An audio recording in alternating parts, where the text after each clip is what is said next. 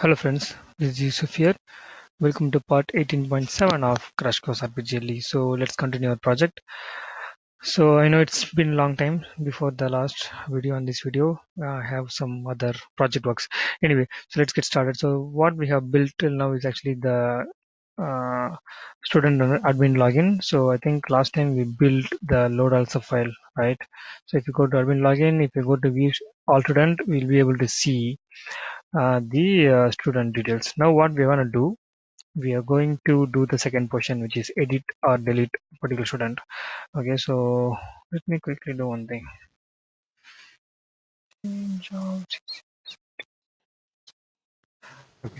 So I already made a copy of it. I'll demonstrate how it's going to look like. So basically, uh, we are going to have the same admin login, but if we log in, this time we're gonna have the option two once you go to the option two, right, we should be able to see something like view or edit student. If I give a student ID and then press enter, the details should be displayed here. Okay, and then if I display another student, it should display. If I give a blank, it should say student not found with all the fields blank. Okay, and then uh, if you want to edit, right, say for example, I give 2002, I get details. So I'm just bound to edit here you can see the student id is not editable only the remaining fields are editable so i'm just going to say like uh, a new name for 2 like that. Okay? And then we have to press f4 okay? Then it says student updated. Okay? And then if you press enter it goes. But if you go back and then see the student it should be available with the value. If you give f3 okay? And then if you directly go and see the database it should be updated with what we updated. Okay? So it's what we're going to build in this video First of all, the screen designing. Uh, I'm going to save some time uh, so that uh, I'm going to copy the screen from this particular display file into this particular display file. Okay, and then I'll proceed further. So let me do that. If we go here, uh, okay, this is the screen which we have built here 06 FMT. Okay, so what I'm going to do, uh, let me edit this. Um, and here I can take this one uh, okay. So we need cc cc now I have added the record format here. So if we give file and then give 17 we should be able to see the A06 FMT here. So what is A06 FMT so nothing but uh, I have just designed the screen uh, and I have this field called uh, inpstudno okay it is to get the input student id and this field is actually uh, non-editable or in other words output field. But the remaining fields are input and output. Okay and another important thing is actually you can see i have a separate field name in this particular screen okay? It is not a direct database field name okay? The reason because if we have a direct database field name okay then we are already using that field for many other screens as well okay? So we'll have a clash. So it's good to have a separate field name so that even if somebody is updating anything right you will get the updated value into this particular variable name so that we can assign this back to the uh, actual pf uh, column name and then we can update it. Okay so so uh, for the simplicity i have the exact name of the column like uh, saddr but followed by one okay? And you can see similarly uh, sorry yes phone one like that. And as usual we have this error message called emsg06 another uh, difference here is actually if you go to 8 and then indicate the keyword uh, normally we use ca right? I i'm using cf for 04 because when you press f4 right we want to have the uh, information from the input fields to be available in our program. Okay if you if I give CA04 here, it's called only attention key, which means the input fields, if I have changed something, right, the changed value will not be available in the program. So with that said, right, so nothing else. So let us compile this one.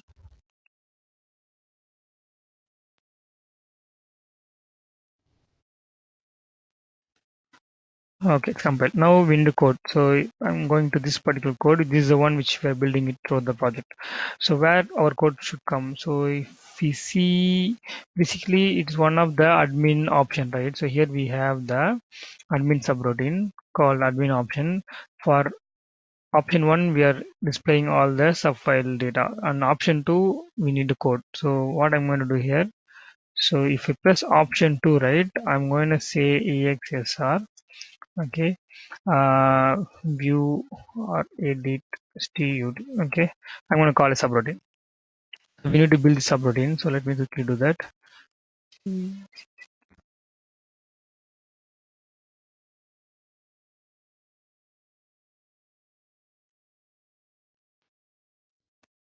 So this is going to be okay it's a template. Okay view edit.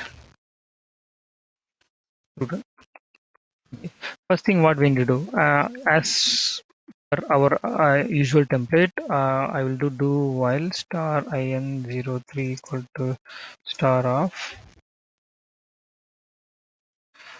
until the f3 is pressed basically I'm just going to do exfmt of s06 fmt so this will just display the uh, screen which is nothing but the newly designed screen which is which will just save you or edit like that. Okay? And in that case if suppose uh, they press sorry. In that case if they suppose press if star in12 equal to star on if they press f12 and if should go back right? So we'll put a leave condition here. Okay. If not then we should actually code the uh, remaining portion okay? Fine. so let's see what happens at this time. I will compile this guy. All. So i'm going to admin 1111 password. If I give initially it was showing some error okay if we give 2 we are getting the screen okay but as of now if we press enter nothing will happen because we have not coded anything but we have coded for f12 so if we press f12 it will go back okay now our intention is if you press enter I should get a error message stating student cannot be blank or student invalid kind of stuff. Okay, if I give a student number and then press enter, then we should go and query the PF and then display the records here, right? So let's do that portion uh, where is our code so here first of all uh, what I'm going to do if I'm not pressing F12 then I'm assuming I have entered something okay? Then the value will be available in the input field called inpstudno right? So I'm just going to do a simple chain with inpstudno okay? And then students because this is our key also for our student file okay? So if percentage found of students okay and there will be else condition also here okay. If it is found then we should display the details. So here right so sid1 equal to sid okay. So let me copy this also from the code i want to just save some time okay so this is what we need. Basically what we are doing we are copying the pf uh, variable names into the uh, sorry.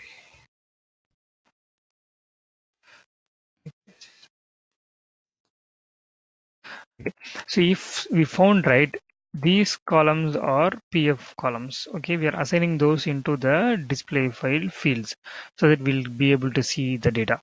Okay if it is a positive scenario okay? If we are not able to find a student okay then it will come to the else condition. So else condition we can simply say right uh, emsg06 equal to student not found okay? So what will happen if it reaches else condition then it will go back and then display. While displaying we'll be seeing the error message. Okay? And also we need one more thing. Let me clear the ems06 here. Else it will keep on showing the same message. So now let's see what happens. Okay we, we still need to do one more thing but i'll just show you in the action. Okay so let me go there If press enter, it says student not found because it takes student number as zero and then checking with the PF, but there is no record. If you give a valid record, we are able to see the data. It is good. So we are going chaining the file and then sending into the display file variable name. Okay. But if I press enter again, here is the thing. Okay. If I press enter again, it says student not found, but again the values are available because the previous value is still available in the display file fields. So here I should clear it. Okay. That is the portion we need to do now. Uh, which is nothing but uh, okay so if if it is a positive scenario, no issues. We will, we will be assigning all the PF names into the display file names. But if it is a negative scenario, uh, then we just need to clear out these things. Okay, that we need to do. I'll copy this whole stuff. Okay, I6. Just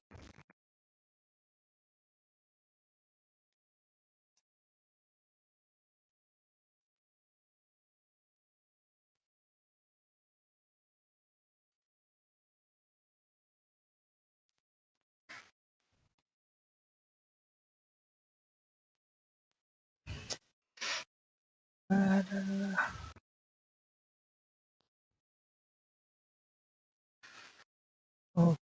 so I hope this makes sense.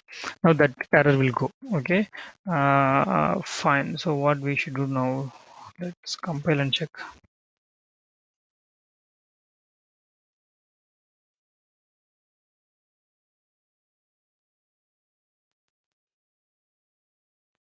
Okay, cool. So enter. Okay, fine. If I give a valid record, is coming. If I give enter again, it just goes away. So view student is fine. Now let's talk about the edit student. So when we should do, say, say for example, if I type something, get reader, then if I edit something, what happens? The editable value will be available in the display file uh, variable name okay? Uh, but if you take f4 in this point I should make sure that I get the data from the display file field and then I'll assign back to the uh, pf field and then I just update it okay? That's what we're gonna do okay? So f4 can happen at any point of time. So let's put that portion. Uh, so what I'm going to do if F12 is pressed we'll go back. If not we'll come here and then do all the stuffs okay? So here uh, else if star in12 equal to star sorry 04 right 04 equals to if and I'm going to make another condition here actually. So we all know that the SID field is non-editable, right? So if SID1, okay, the display file SID1 is not equal to zero. This will ensure that we are having at least some data in our display file. Okay, in this case, if the F4 is pressed, we just need to update whatever we have in the display file into the PF. So here, simply we need to assign back all the PF data Okay. the reverse way. So we we should assign back the PF I mean display file field name into PF. You understand, right? Okay, that's one catch. This SID is not needed because SID we are not already editing. Okay, so name one okay, so these fields from display file might have been changed. So we are just assigning back to the PF. And then we should do a update studfmt. Okay, so this this should help, and then we also do emsg06 equal to student update. Okay, see the thing is you cannot update a file without you do a proper read or chain okay. The reason why my update will work here because this will make sure that the student id is not equal to zero which means we are having some student information in the pf how the student information came into the pf because in the previously we should have read using this chain operation okay? So that, that's why this update is happening. Uh, okay so and we need to do one more thing. We should make our student into update mode okay?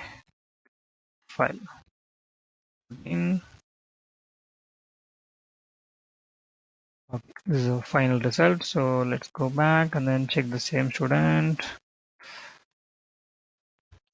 2002 name 2 again. Okay, so I'm just going to press F4. See, this information came because we already changed this particular record. Okay, so when I press F4 now, it can just do the update. Okay, just shouldn't update that. Okay, and then if we just press enter, it is chaining with zero and then displaying blank. But if you go back with the 2002 we should be able to see the name 2 again. Okay so that is the end of this video. So hope this helps you. Okay in the next video we will be seeing uh, the next admin option which is the adding the new student. Okay what happened? Oh i gave the student id okay oh, fast it works man. Student login uh, okay sorry admin login. No no no no no. Password. Okay we're going to code this portion in our next video okay? Once we completed this our whole student will be going away and then we'll concentrate on the student login okay? So that's the end of this video. I hope this helps. Uh, thanks. I think we have reached 2000 subscribers. I'm very happy and i'm expecting more. I'll see you in the next video soon. Thanks for watching